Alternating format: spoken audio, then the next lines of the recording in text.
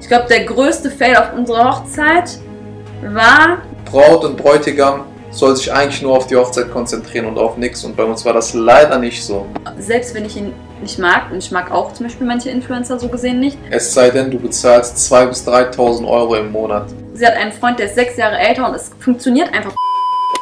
Hey Leute und willkommen zu einem neuen YouTube-Video hier auf unserem Kanal und auf meinem Kanal. Du hast ja einen eigenen Kanal. Ist egal. Auf jeden Fall, ja, wollten wir auf jeden Fall seit längerem, seit sehr, sehr längerem ein Q&A drehen, weil es kamen wieder so viele Fragen und ich glaube, es kam, also hier auf YouTube vor allem, äh, sind auch sehr viele Abonnenten wieder dazu gekommen und apropos, wenn wir schon dabei sind, Dankeschön für das krasse Feedback wegen dem äh, Frühstücks- ähm, Video. Ich hätte niemals gedacht, also ich dachte schon, dass das Interesse da ist, aber ich hätte niemals mit so einem krassen, äh, ja, mit so krassen View-Zahlen gerechnet oder auch. Halbe Million schon. Ja, oder auch mit so viel gutem Feedback und äh, freut mich auf jeden Fall, dass ich euch inspirieren konnte da und dass das Video so gut ankam.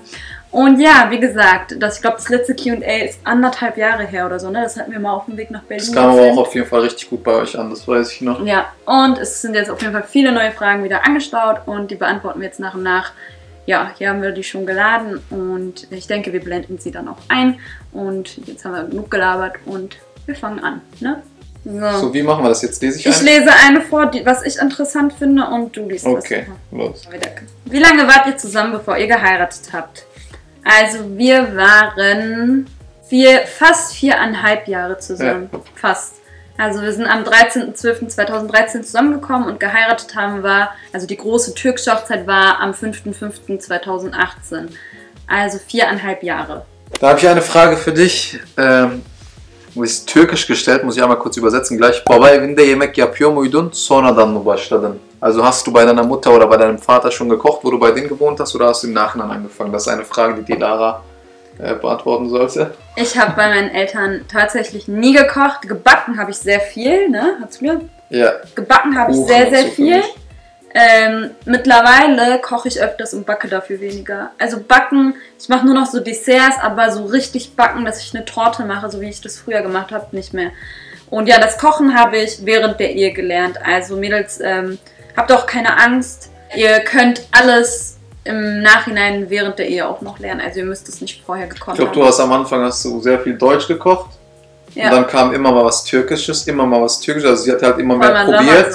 Und das hat auch richtig gut geklappt, muss ich ganz ehrlich sagen. Ja, mittlerweile durch YouTube-Mädels kann man ähm, sehr, sehr viel selber eigenständig lernen. Ja. Also keine Angst davor haben.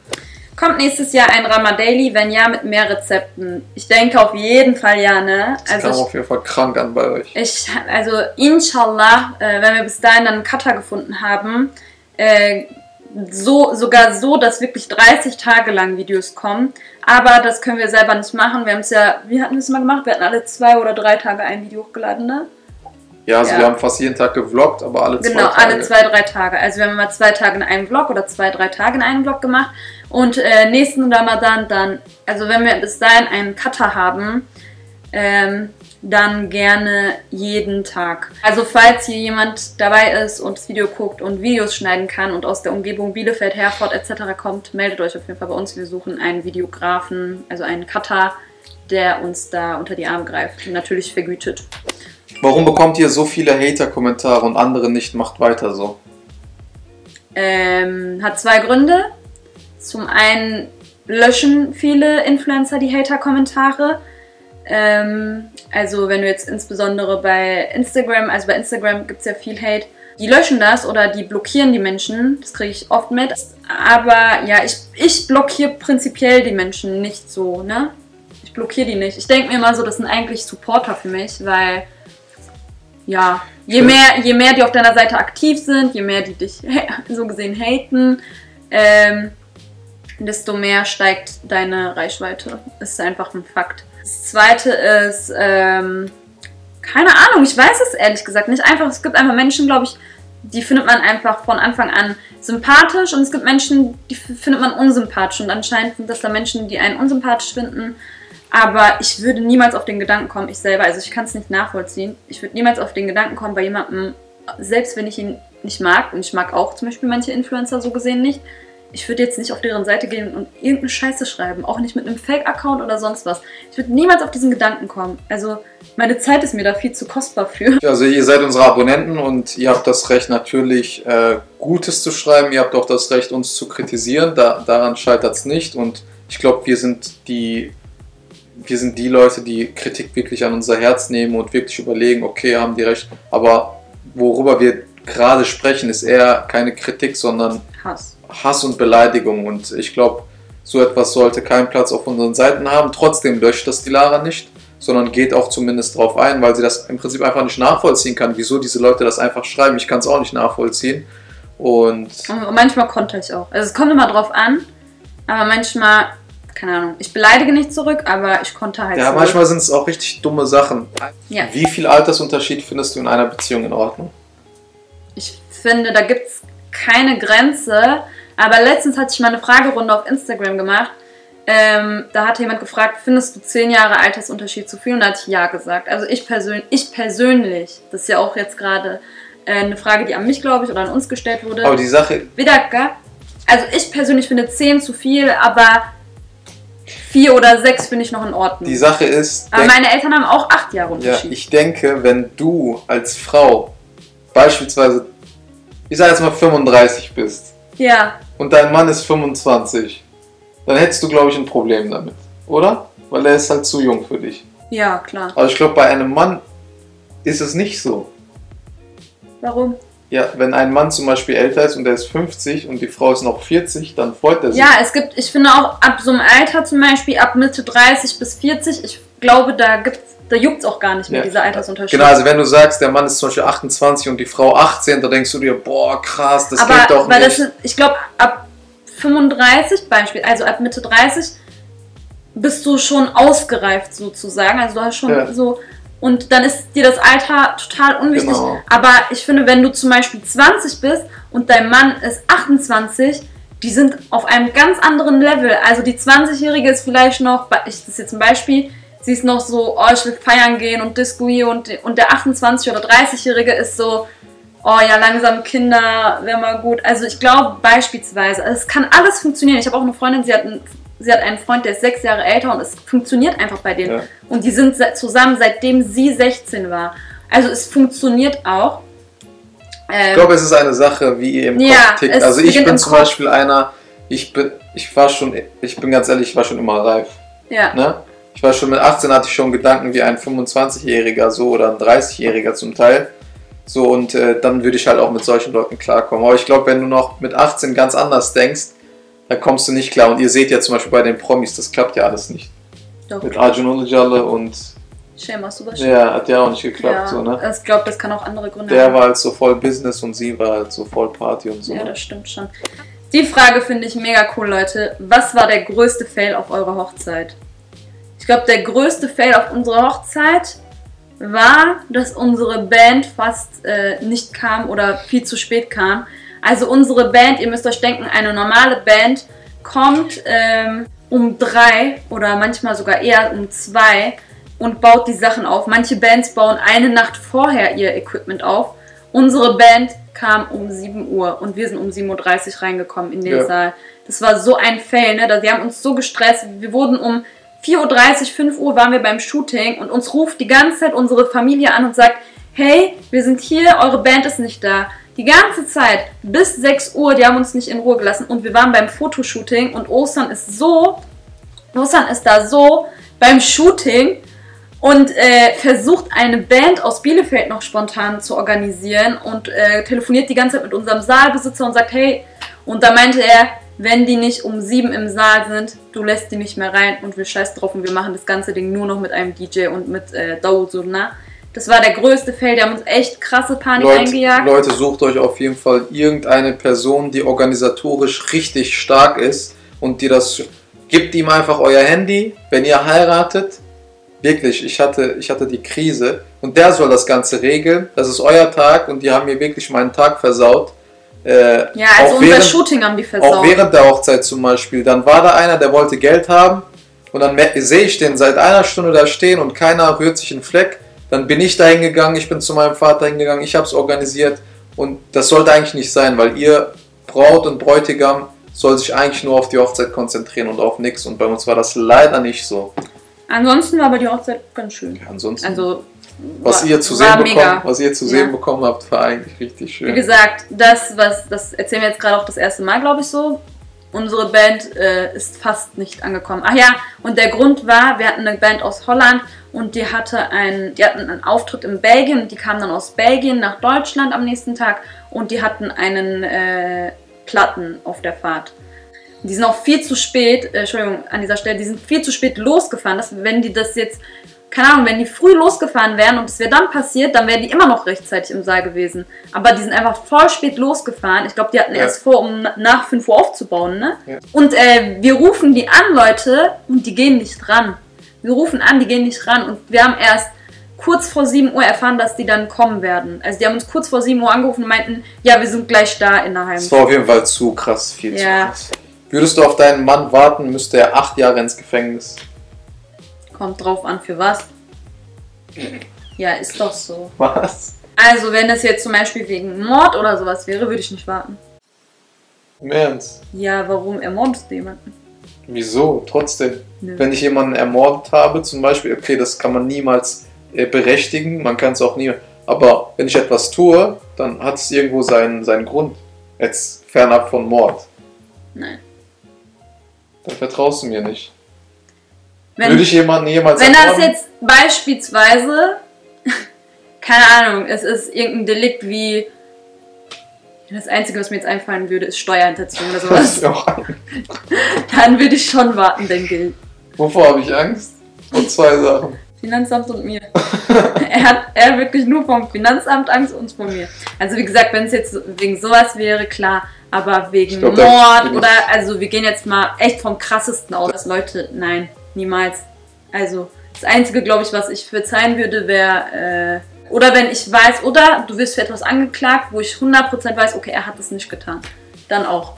Aber ähm, für krasse Sachen, nein. Sagen wir mal, beispielsweise. Ja. Äh, dann haben wir eine Frage, die ist auf Türkisch, die übersetze ich nochmal ins Deutsche. Taşınmayı düşünmüyor musunuz ve ne zaman? Also das heißt Wollt ihr nicht übersetzt, umziehen? Wollt ihr umziehen und wenn ja, wann? Ich hatte letztens ein bisschen so aus Jux und Dollerei, ehrlich gesagt, nach Wohnungen geschaut. Einfach mal so, was so hier in der Umgebung so neu gebaut wird. Das Problem ist erstens, ich möchte hier aus diesem Viertel nicht weg. Mir gefällt unser Viertel extrem. Wir wohnen auf einem Bauernhof, hier leben gar keine Türken, wir sind die einzigen Türken hier. Das gefällt mir sehr, sehr gut hier so. Ne? Ja. Wir sind hier sehr gut eingelebt. Äh, wir wohnen richtig fernab von allem. Wir haben keine Stadt oder sonst was. Wir haben hier nur Kühe und einen Bauernhof und es ist eigentlich richtig schön hier. Pferde, Schweine. Pferde, Schweine, richtig schön hier. Ähm, zweitens sind die Mieten für diese Neubauwohnung extrem hoch und wir sind fast das halbe Jahr nicht zu Hause, kann man so sagen. Ne? Ja. Jetzt bald beginnt wieder unsere Produktion der Kosmetik. Dann müssen wir noch mehr reisen. Ähm, Ich hoffe, dass wir mehr als ein halb Jahr, halbes Jahr nicht in Deutschland sind. Ja. Schöne Grüße an das Finanzamt an dieser Stelle. Und ja, wie gesagt, warum, warum sollen wir dann äh, umziehen, so gesehen? Aber natürlich, äh, wenn wir, keine Ahnung, in den nächsten Jahren Kinder kriegen, werden wir auf jeden Fall äh, dann umziehen. Ähm, inshallah dann aber ins Eigenheim direkt, ne? Hatte ein bisschen geguckt, einfach, ich habe nicht geguckt, weil ich wegziehen will. Ich habe einfach geguckt, ob, ob es vielleicht was noch Geileres gibt für den gleichen Preis. Also beispielsweise jetzt eine Penthouse-Wohnung. Weil es gibt echt nur einen Aspekt, der uns, glaube ich, so abfuckt, dass wir keinen Balkon haben, ne? Im Sommer. Im Sommer das fuckt schon ab, aber da haben wir auch genug Ja, Freunde, die einen Balkon haben. und ja, Garten. und wir haben, wir haben einen Balkon auch eigentlich unten. Was war dein tollstes Erlebnis deines Influencer-Daseins? Ich glaube wirklich darauf bezogen, so als Influencer. Und nicht während der Zeit, sondern als Influencer. Was war dein tollstes Erlebnis? Ich muss überlegen. Also ein Ergebnis, was natürlich. Erlebnis, ja, nicht Ergebnis. Erlebnis. Du hast Ergebnis gerade gesagt. Nein, Erlebnis bitte. Ich hab's auf Kamera Könntest ja später diesmal. nochmal gucken. War auf jeden Fall, glaube ich, äh, unser erstes eigenes Produkt, dass ich das durch mein Influencer-Dasein verwirklichen konnte. Hätte ich nie, niemals in meinem Leben. 2013, wo ich wirklich dann wieder mit Instagram angefangen habe. Ich habe übrigens Instagram seit 2011. Niemals hätte ich gedacht, dass ich ein eigenes Produkt auf den Markt bringe. Und dass wir dann noch innerhalb von einer Woche ausverkauft sind. An dieser Stelle 2020, Leute, ist es inshallah soweit. soweit. Äh, sehr professionell. Bei die Lada Keinaja abonnieren schon mal. Es kommen neue Produkte, Mit einer neuen Kartonage, neues Logo, neue Container. genau, neue Außenverpackung und ähm, ja, neue Produkte, ne? Mehr Produkte. Genau. Ja. Also es kommt was krasses auf euch Und, zu. aber unser Highlighter wird eins zu eins derselbe sein, wie davor auch. Also das, der Geruch wird der gleiche sein, wir kriegen auch so viele Komplimente wegen dem Geruch von unserem Produkt. Und der Inhalt wird derselbe sein und der Glanz, der Schimmer, alles wird gleich. Ach ja, und das zweite, was äh, auch ebenfalls ein krasses Erlebnis war während des Influencer-Daseins, waren die zwei Spendenaktionen, die wir gemacht haben, wo wir selber das Geld persönlich rübergebracht haben in die Türkei. Einmal unser Gaziantep-Projekt und einmal unser, was war das jetzt? Unser Mardim-Projekt, wo wir die Kinder für den Winter eingekleidet haben. Ebenfalls nur möglich durch euren Support, wäre niemals ohne euch möglich gewesen, weil ihr seid der Grund, weshalb wir diese Spenden, diese hohe Summe zusammenbekommen haben, das Geld so schnell zusammenbekommen und es war einfach ein krasses Erlebnis während dieser Influencer-Zeit. Also beides in diesem Jahr passiert und das waren so die heftigsten Sachen, glaube ich, ähm, während dieser Influencer-Zeit. Das ist auch eine Frage, die kannst du beantworten, Osan. Bist du ein Perfektionist? Nicht so sehr wie die Lara. Ich glaube, sie, sie hat mich auch gefragt. Also ich sage, du musst Achso. über mich dazu was sagen. Ja, also die Lara ist sehr perfektionistisch, egal worum es geht. Auch beim Produkt zum Beispiel. Ganz, das ganz banalste zum Beispiel, wenn wir ein Logo designen und ein, ein Buchstabe oder ein, ein Wort zum Beispiel um einen Millimeter links ist statt rechts, dann muss das rechts angeordnet sein. Und aus dem Grund, also ich bin, sogar, ich bin sogar manchmal so, dass ich zum Beispiel sage, ey, reicht jetzt, lass es so durchgehen und so. Und sie sagt, nein, es muss genauso sein, wie ich das haben möchte. Also sie denkt weder wirtschaftlich noch sonst irgendetwas, sie denkt wirklich, das ist mein Produkt, ich will es benutzen, jetzt bezogen auf das Produkt. Und das muss halt perfekt sein. Und so ist sie auch im Leben. So ist sie im Haushalt, wenn es um Putzen geht. Ich staubsauge, sie muss nochmal staubsaugen, weil sie das nicht gut findet. Äh, ja, überall im Leben einfach. Und das hat sie, glaube ich, von ihrem Vater. Das ist eine Frage für dich. Konzentriert sich Os weiter auf die Selbstständigkeit oder wird er sich bewerben? Also Freunde, ich glaube, äh, Dazu musst du auch sagen, wann hast du deinen Abschluss jetzt gemacht und in was? also ich habe in diesem Jahr Ab meinen Abschluss gemacht im Bereich Maschinenbau. Also ich bin, äh, habe meinen Bachelor im Bereich Maschinenbau gemacht, wie bereits schon gesagt. Also bist du jetzt? Maschinenbauingenieur. Genau. Und ähm, wie gesagt, wir haben mit dem Influencer-Dasein dank euch wirklich so viel im Leben erreichen können, dass wir uns auch so viele Standbeine aufgebaut haben und immer noch aufbauen möchten, dass sich im Prinzip Leute damit befassen müssen.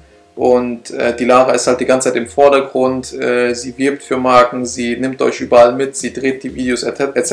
Also wir werben nicht nur für Marken, sondern wir arbeiten jetzt auch an Projekten. Das soll, also jetzt, ich weiß nicht, inwiefern ich weiter erzählen sollte oder so, aber Ja. es äh, kommen auch zum Beispiel jetzt im Jahr 2020 ein paar Projekte mit Marken. Also nicht nur, dass ich dafür werbe. Genau, und es muss halt eine Person im Prinzip auch im Hintergrund geben, die das Ganze managt und die im Prinzip da ist, wenn irgendetwas, wie gesagt, sei es steuerlich sei es rechtlich etc.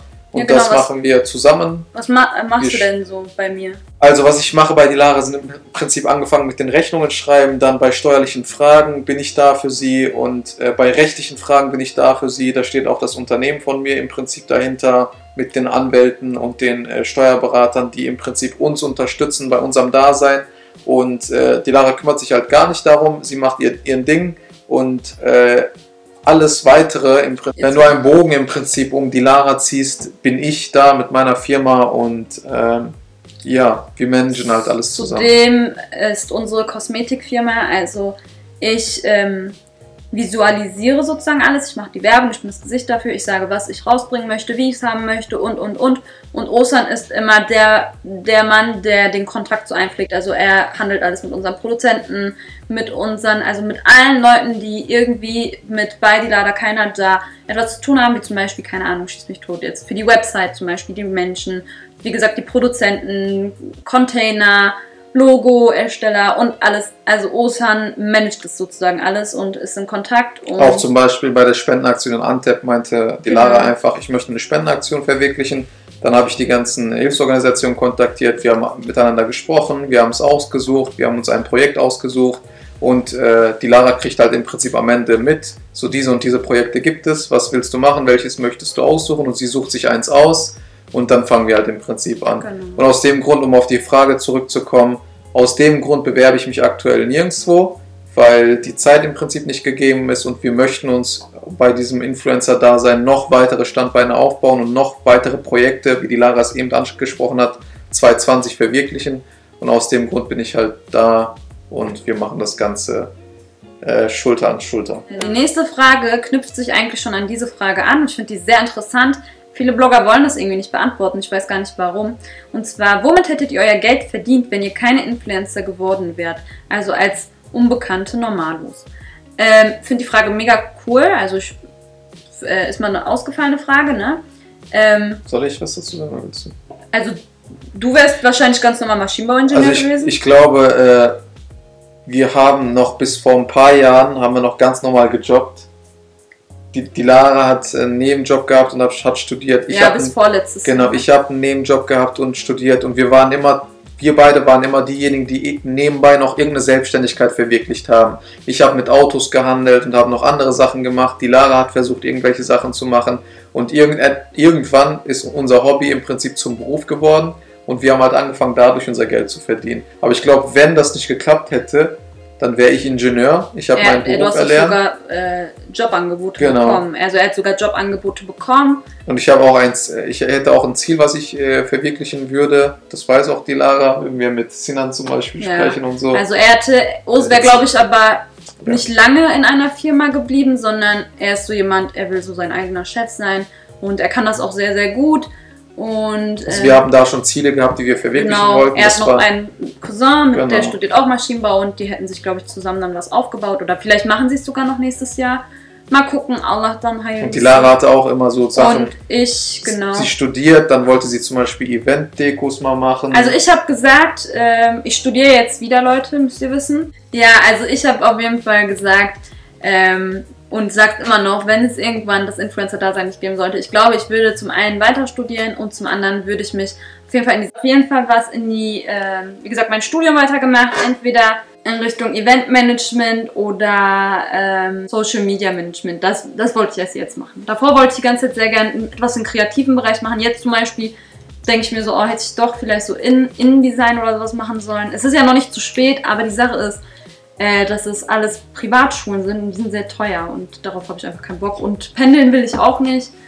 Und ja, nebenbei hätte ich ähm, gern dann auf jeden Fall was in den kosmetischen Bereich gemacht, also Wimpernlifting, Facials und äh, Make-up-Schulung und also Make-up. Okay. Sowas hätte ich auf jeden Fall nebenbei noch gemacht. Was war das schönste Erlebnis im Jahr 2019 und habt ihr Kinderpläne für 2020? Ja, auch wieder dieselbe Antwort von mir. Unser Hilfsprojekt war, also unsere Hilfsprojekte in 2019 waren mega geil.